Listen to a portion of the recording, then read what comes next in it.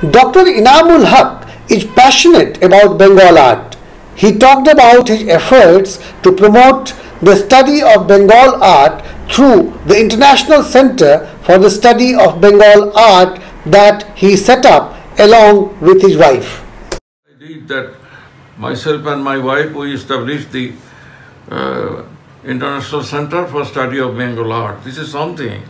There are more than 100 uh, universities in Bangladesh, but none of them teaches Bengal art. So what is to be done? So 25 years ago, my wife and myself, we decided to donate our entire academic collection, 20,000 uh, 20, books and journals, more than half of which are the only copies in Bangladesh, and uh, 60,000 photographs. So these were unique collection and we gave it free of cost to the government of India to establish an, an autonomous body. At this moment we are negotiating with the government how it will be done. But our decision is final that we will give this collection to the uh. Dr. Haque is keen on closer cooperation between India and Bangladesh to expand and develop the field of history and archaeology. And now that I have been acknowledged with an award of Padma Shri by Government of India, I will expect that the Government of India will give us much more attention and some sort of help financial or administrative or some way because unless there is help from government in these matters, we cannot make any progress in archaeology.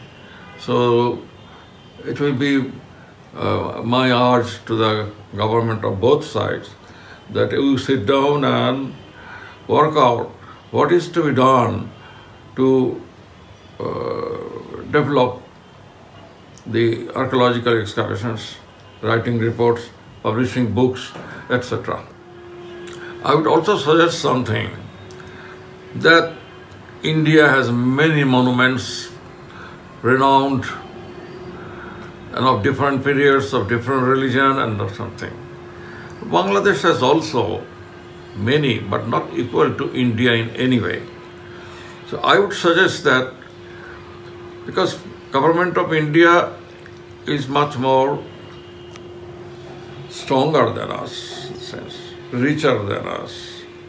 So they can take initiative in arranging visits by Bangladeshi students to Indian sites and monuments and similarly uh, the Indian students can come to Bangladesh to visit the sites and monuments. This will really will build up a, uh, a close relationship between the two people. This is something, there are tourism going on here and there in Bangladesh and in India, but I would go particularly for the students. So, so that we can develop close relationship between us. By conferring Padma Shri on Dr. Enamul Haque, India has honored the shared heritage of India and Bangladesh. It is indeed an honor for all those who have dedicated their life to scholarship and social work in the Indian subcontinent. Rajesh Jha for AIR and DD News, Dhaka.